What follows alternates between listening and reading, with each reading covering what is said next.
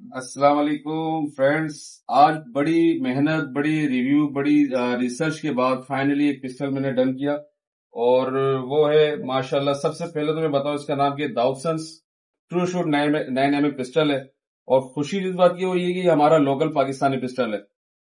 तो और माशाल्लाह, जिस क्वालिटी का ये पिस्टल बनाया है, हर तरह से चेक करने के बाद तसली करने के बाद मैं मुकम्मल सेटिस्फाइड हूँ। और बाकी माशाल्लाह अभी भाई हमारे बताएँगे। इसके बारे में किसकी क्या रिव्यू इसका और क्या इसका रिस्पॉन्स पता है? सर, ये बहुत ज़बरदस्त पिस्टल है। दाउसन टू शॉट के नाम से आया ये। इसके और भी मॉडल है, मगर वो अभी कराची में आए नहीं है। दाउसन टू शॉट है, इसका पीएफ की गोली चला है बहुत आला मैकेनिज्म है इसके। इसकी बॉडी बैरल वगैरह बहुत ज़बरदस्त बनाई है। सारे पाकिस्तानियों में ये बेस्ट है। सबसे आला क्वालिटी का है ये। हम्म। और इसके लॉक वगैरह सारी आप एक एक चीज़ पे आप भरोसे के लायक है। बहुत ज़बरदस्त बना हुआ है ये डबल एक्शन पिस्टल है।